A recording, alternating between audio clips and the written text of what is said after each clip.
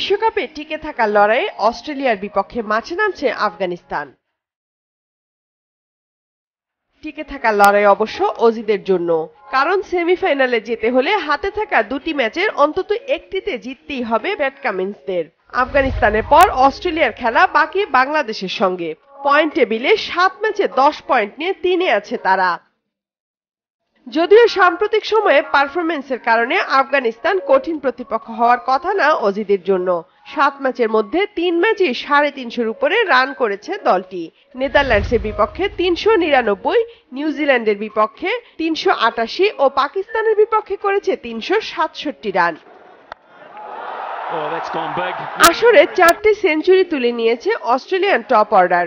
David Warner দুটি শতকের পাশাপাশি সাত ম্যাচে তিনশো তিরাশি রান করে আছেন সেরা পাঁচে। বোলারও আছেন ফর্মে।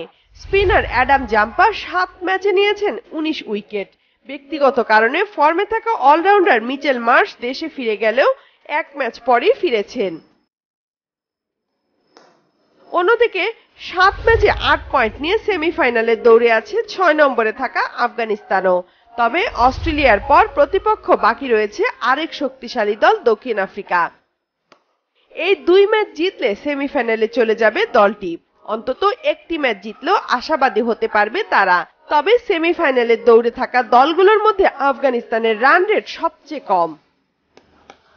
টুর্নামেন্টে দারুণ ফর্মে আছেন আফগান ওপেনাররা। সাত ম্যাচে প্রায় একশো স্ট্রাইক রেটে রহমানুল্লাহ গুরবাজ করেছেন দুইশো চৌত্রিশ রান।